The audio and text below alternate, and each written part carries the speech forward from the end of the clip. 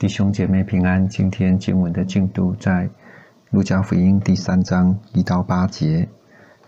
第三章，凯撒提庇流，这个提庇流是前面啊，奥古斯都的呃养子。那个奥古斯都，我们说在外面我们看到叫乌大维哈。那所以他是在位第十五年，他有一段时间是跟奥古斯都呢一起执政。本丢比拉多做犹太巡抚，西律做加利利分封的王。这个西律是呃，这个马太福音大西律的孩子哈。大西律死后啊，把他的这个土地分给三个孩子哈，一个叫雅基老，一个叫西律安提帕，一个叫菲利哈。那这里就交代说，西律做加利利分封的王，这是西律安提帕。在加利利那个地带，他兄弟菲利做以土利和特拉可尼地方分封的王。吕萨列，吕萨列只有圣经呃出现在这里哈，资料不多，所以我们知道他在这里是做亚比利尼分封的王。亚纳和该亚法做大祭司。该亚法是亚纳的女婿，呃，该亚法做大祭司，应当是在主后十八年到。三十六年，所以这个时候应当是盖亚法做大祭司啊。为什么写亚纳呢？因为，嗯，亚纳还是呃在当时候呢是更有影响力的哈。那时候的大祭司已经不是呃这个终身的，就是亚伦的后代将终身的，他已经成为官派的啊政府派的。那时撒加利亚的儿子约翰在旷野里，前面呢这个写法。陆家的这个写法是很特别的，他刻意把呃希腊的这个历史啊，就说谁在执政，然后是呃各地是谁在做王，啊，把耶稣的故事放在这个当时候罗马帝国时代的背景下，所以呃这也是让我们很清楚那个时空背景。那一下子写到那时撒加利亚的儿子约翰在旷野。马上呢，让我们的回忆又回到前面第一章、第二章哈这边的故事了。讲到撒加利亚，马上想到撒加利亚他怎么样进到圣殿里面服侍的时候，天使怎么对他说话啊？他因着他不信，所以他嗯哑巴了哈，不能说话，出来只打手势哈。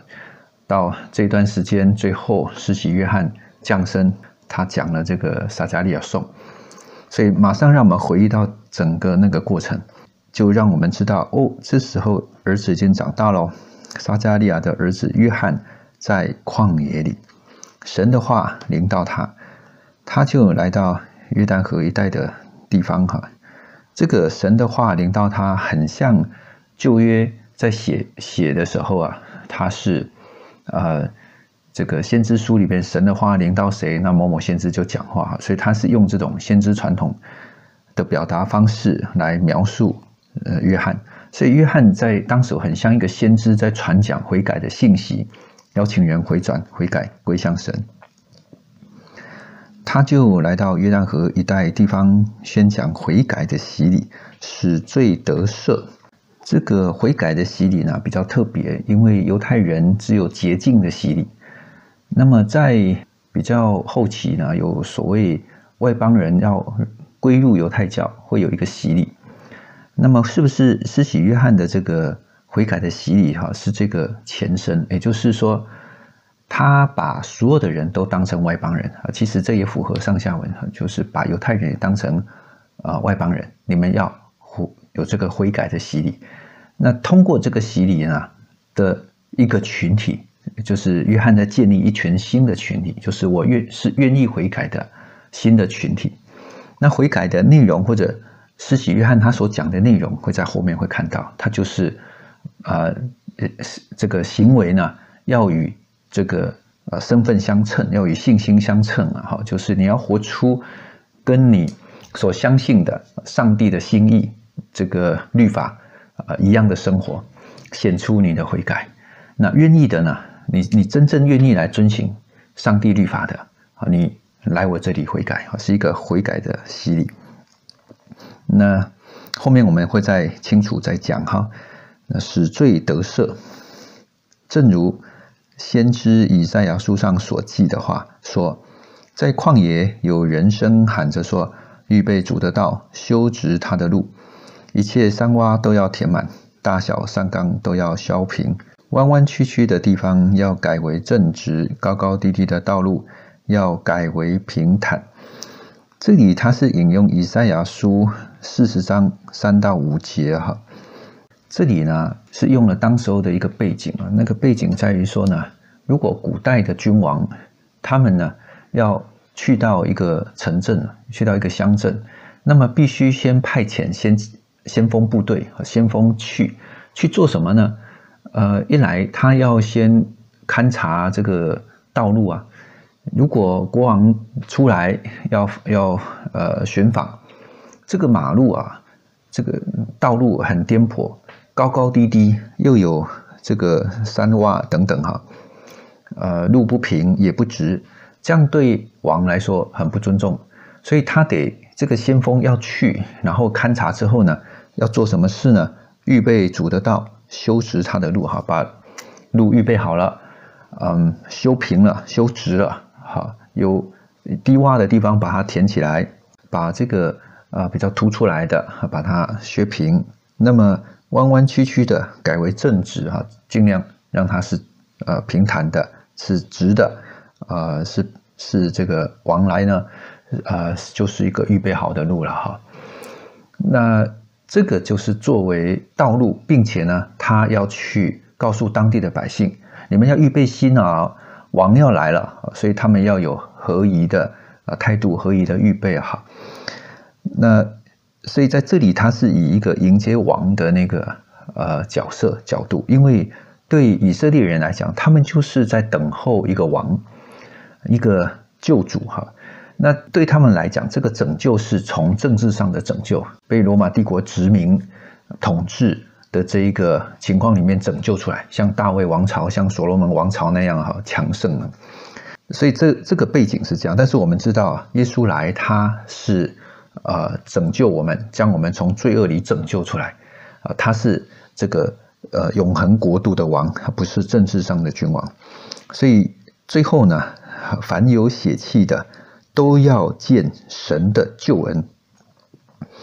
这里就暗示了一件事情啊，就是指的是凡有血气的，不单单是以色列民，这个王呢，他是呃普世的，全人类哈，全世界的百姓都要臣服的哈，凡有血气的都要见神的救恩。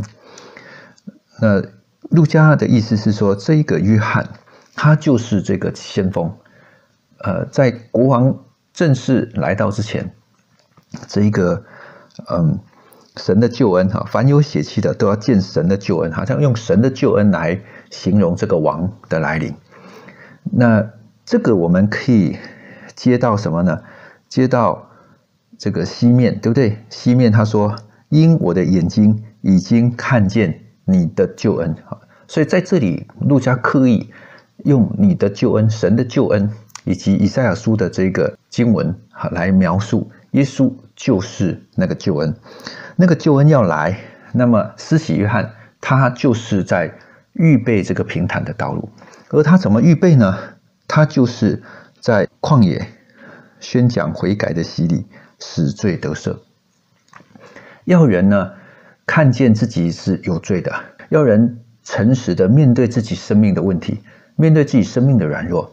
知道应当要悔改，等到呢，耶稣来了，救恩来了，福音传扬出来了，那么人就可以来接受。所以，呃，路加是用这样的背景，还有以赛亚书来描述施洗约翰的工作。哈，我们回过头来看这一段哈，其实施洗约翰所做的事情是非常重要的，而我们今天事实上也应当继续做。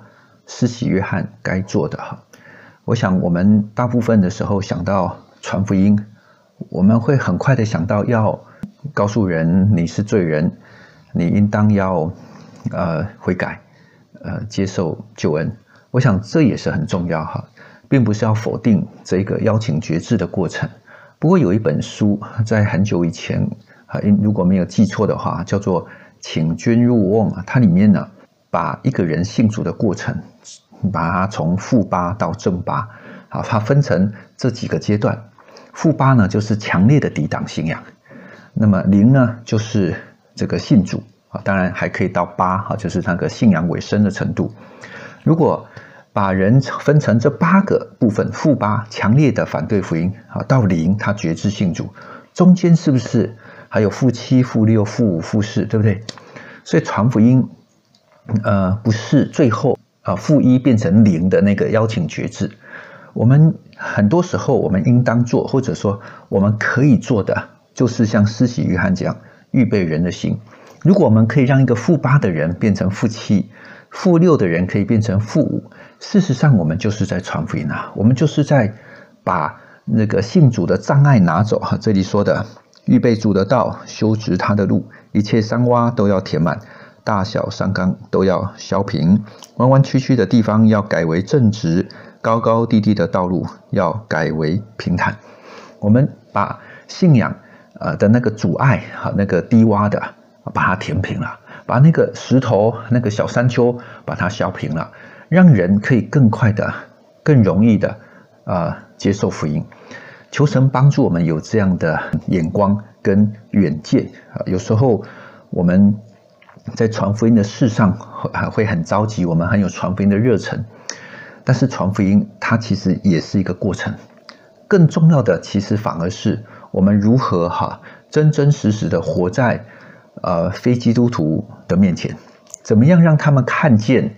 我们信仰的坚持，怎么样让他们看见我们呃生命那个活出来对人的恩慈啊，这个宽厚，对人的爱，对人的包容，这更难啊！我的意思是说，我们要传福音，嗯，有一个事工去跟人家介绍事律，我想呃，我们需要勇气，但是呢，那终是一天两天的事工，如果。我们期许自己是每天真真实实活在同事的面前，活在同学的面前，活在未信的家人亲友面前。我想那更是一个挑战，需要时刻的警醒，时刻保守我们的口舌，时刻有呃把握机会向人显出恩慈。求神帮助我们，呃都能够像施洗约翰一样有智慧，也能够做一个预备主道路的人。我们一起祷告。亲爱的主，我们看见施洗约翰，他一生的托付和护照就是预备人的心。等到呃主你来的时候，有一批一批的人悔改归向你。主啊，求你帮助我们像施洗约翰一样，在我们的生命当中勇敢的活出生命的见证，把握每一个机会向人显出恩慈，向人显出宽厚，保守我们的口舌常常肯定。常常赞美，更多的拥抱，更多的慷慨。主，你帮助我们效法，呃，你仆人实习约翰的榜样，成为预备主道路的人。听我们祷告，奉耶稣基督的名，阿门。